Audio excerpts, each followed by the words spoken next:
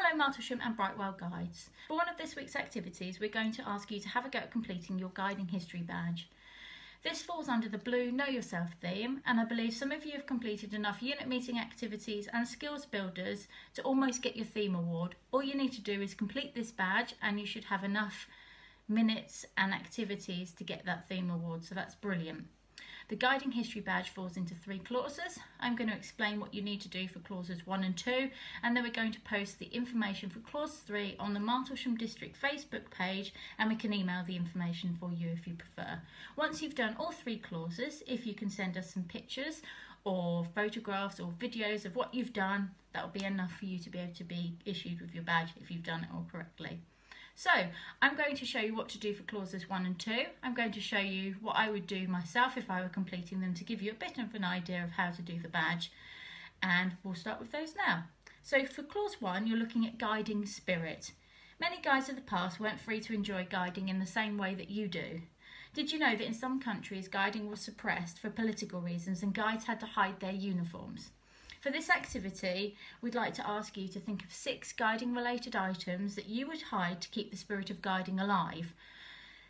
How would you hide them and why would you hide them? If you can present your ideas in a creative way, that would be really good. So I'm going to show you what uh, items that I would hide if I were going to do so. I'm presenting them in the creative way of a video, which I'm posting on Facebook, which is quite unusual for me. So the items that I would choose are over here on my table, and they are Here's item number one. This is the second Martlesham Heath Guides unit flag. I thought that would be a good item to hide because we would be able to use it for ceremonies in the future. It's a really important item that we have um, for our unit.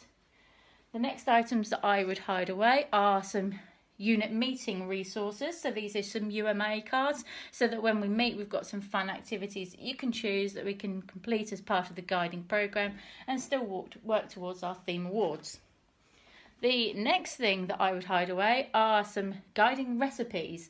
I think it would be a good idea to put in my recipe book some ideas for maybe camp pudding, dampers, and one of our favourites that we make at Guide s'mores so that we can remember what we need to do and we can refer to that if we need to whilst we're hiding away.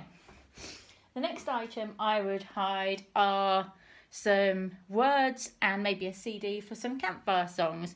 Unlike Joe, I'm not so good at remembering the words and the tunes for all these songs, so I think it'd be really important for me to be able to hide these away so we could sing them if we're feeling a bit low or we need a bit of cheering up.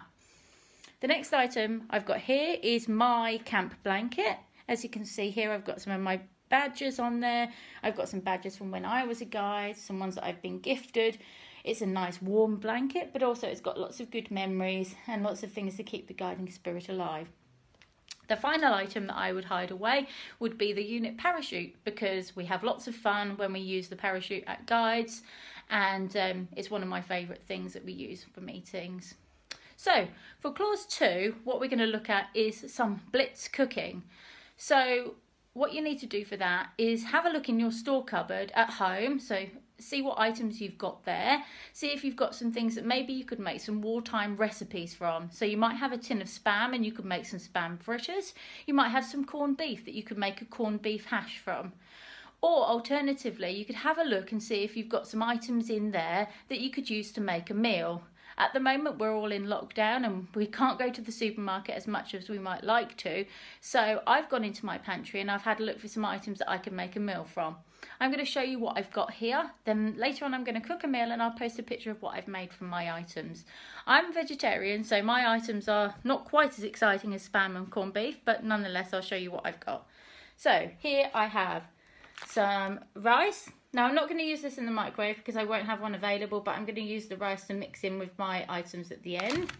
I've got some chickpeas, I've got some garlic, I've got some olive oil, some curry powder, I've got some chopped tomatoes, and I've got some red lentils. So what I'm going to make with these exciting items is a veggie curry and um, I'll make that in a pan. Hopefully I'll get out one of my cooking stoves and do it on a cooking stove in the spirit of guiding and I'll post a picture of what I've done later on so you can have a look.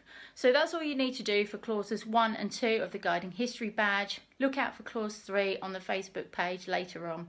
Thanks girls, hope you have fun completing the clauses. See you soon and stay safe.